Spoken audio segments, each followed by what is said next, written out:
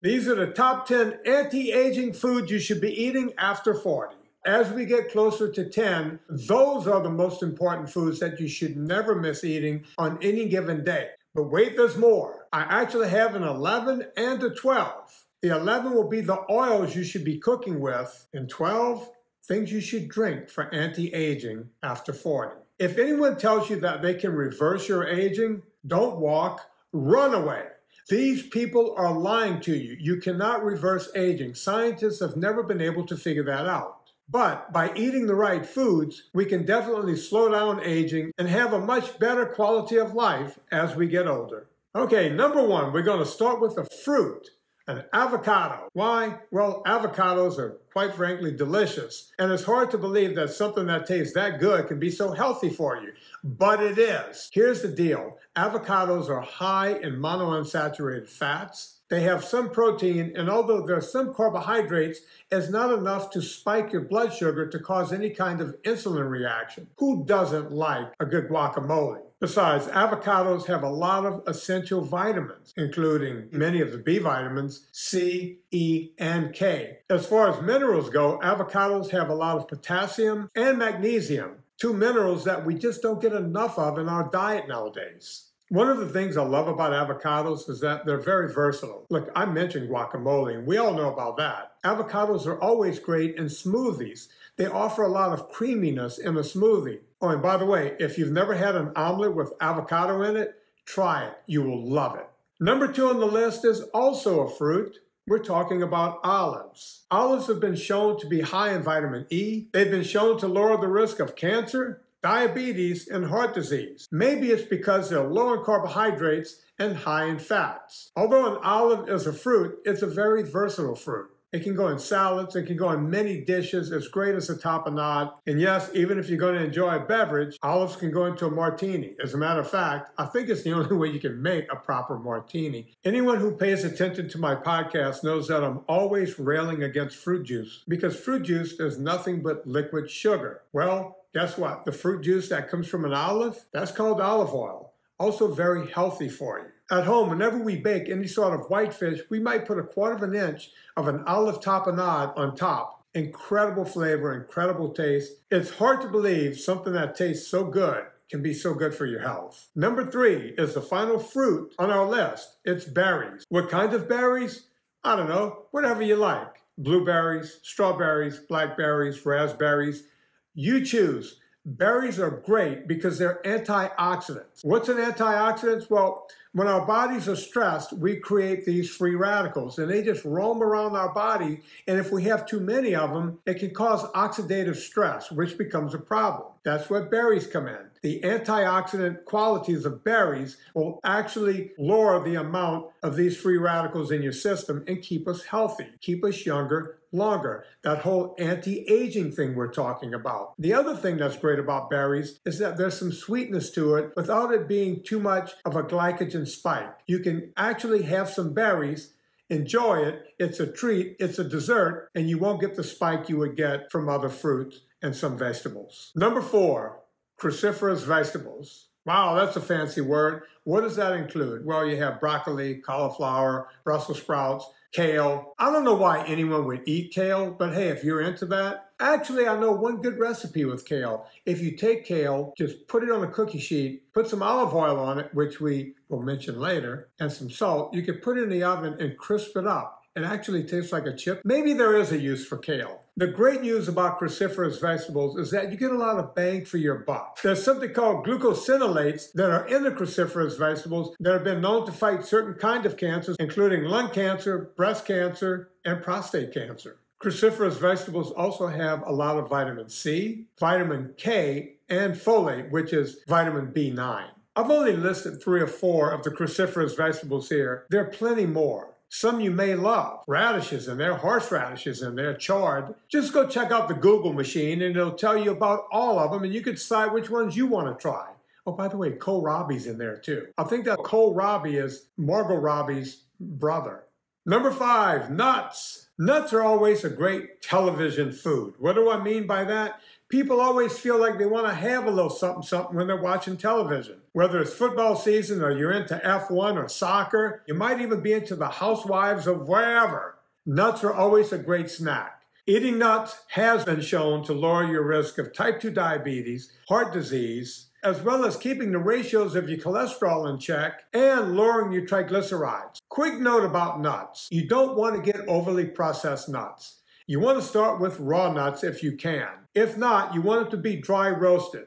Whenever you get nuts that have flavors on them or anything else, they usually take a seed oil to put onto that nut in order to get the flavor to stick, even if it's only salt. So you want to get the best nuts you can get. So try to get raw. If not, you want to get dry roasted. Now, my favorite nuts. The more fat, the better. So at the top of the list, I have things like macadamia nuts walnuts, and pecans. Right behind that, you have things like almonds and cashews. These are all great nuts. They will keep the wolf from the door. They're an easy and satisfying snack. Number six, dairy. So why is this such a great anti-aging food? Dairy offers the fat you need to keep long, even energy going throughout the day. The protein is wonderful for muscle building and the calcium too for your bones. Dairy is not just great for brain development when you're younger, it keeps our immune system and our brain strong as we get older. Dairy comes in many different forms. And If we're talking about milk, think about it. Every mammal needs milk when it's young, but not as it gets older. So what is the best way to consume dairy products as you get older? Well, there's cheese, yogurt, and butter. Butter's not just yummy, butter is also great as an oil when you're cooking. Number seven, chicken. Now you're going to start noticing a common theme as this list gets towards the end. Lots of protein. We need protein. It's the building block for every cell in our body. Animal protein is the best way to get this. You get a ton of amino acids. Amino acids work in different ways throughout our body, and getting enough of them to build muscle, to build bone, to build every cell in our body comes from animal protein. Can you get this from other proteins, pea protein and what have you? Yes, but you would have to eat so much of it just to get the same amount that you would just be in gastric distress all the time. You want to stick to the stuff that will work better. You want bang for your buck when it comes to protein, and chicken offers that. You'll get somewhere between 26 and 31 grams of protein per serving of chicken. And don't forget, you always want to leave the skin on. And when you get into the legs and wings and all around the thigh part, get the gristly part. You want to get the skin in there. You want to get all of that collagen naturally. You don't have to go buy a bastardized product to get the same thing. Number eight, fish. That's right, more animal protein here, but this time fish. So what would fish offer that chicken doesn't offer? Oh, just omega-3 fatty acids and plenty of them. That's why you want to eat fish early and often.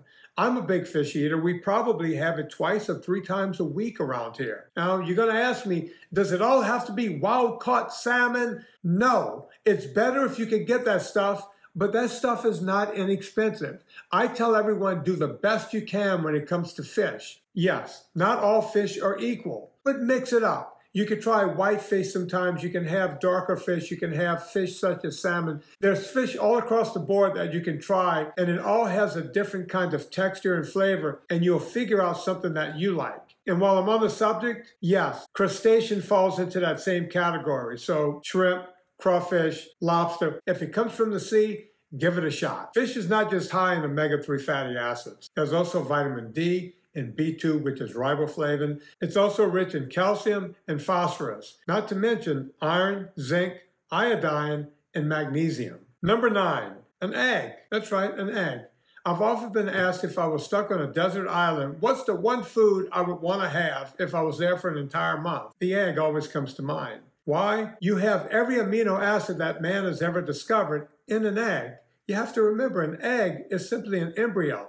So everything that can create a life, it's already in that small package. So it's actually the perfect food. You not only get high protein from an egg, you also get great saturated fat. So an egg by itself can sustain life indefinitely. Eggs are chock full of iron, vitamins, and minerals, and a little something called carotenoids. Carotenoids are one of the strongest antioxidants out there. So when you start thinking anti-aging, think eggs. Number 10, red meat. But wait a minute, Vinnie. I've always been told that red meat is going to kill me and is ruining the planet. Nothing can be further from the truth. Actually, it's full of ALA. You may have heard of ALA, alpha lipoic acid. Meat has the natural version of that, alpha lipoic acid. It's been shown to fight free radicals and inflammation in your system. Studies have actually shown that it can increase your circulation. So the more red meat you get, the better. It's exactly opposite of what you've always been told. Meat is also high in protein, and we've talked about protein before in this list. It's very important for the building blocks in your body. Not to mention, you can get over 100% of your B12 from eating red meat on a daily basis. So there's your top 10 list. But the question always becomes what about oils? We've heard a lot on the internet lately about seed oils and how bad they are for our system. So, what can we use for anti aging when it comes to cooking oils? Well, several oils come to mind, and you may have heard of some of these foods in the list. Olive oil, for instance, avocado oil, both great oils to cook with. Not to mention butter. Butter is a great oil to cook with. If you want to use beef, tallow, suet, or lard, those are all great for cooking and will also add actual flavor. So don't be afraid of them. And since we we're talking about the top 10 foods you should eat for anti-aging, we shouldn't leave out things you can drink. The two that come to mind are coffee and tea, both great antioxidants. As a matter of fact, studies are now showing that drinking a cup of coffee a day will lower your risk of heart disease by 10%. Here's the crazy part. If you have two cups, it will lower it by 20% and so on. So drink up when it comes to coffee and tea. The one thing I've learned over the years about health, fitness, and diet is people always have the question, should I have all 10 of these foods every day? Well, no, you shouldn't, but they should be mixed in throughout the week, every week. And don't leave any of them out. In other words, you don't have to have red meat every day, but if you're having chicken on those off days and eggs on a different day, it all comes together as a well rounded diet. So, no, you don't have to have everything every day. Just pick and choose because, after all, variety is the spice of life. So we just went through a list of foods that will slow the aging process and keep you healthy. But are there foods out there that we're told they're healthy, but they're actually speeding up the aging process? I say yes, there are. If you want to find out what some of them are, go watch my video, What Eating Grains is Actually Doing to Your Body.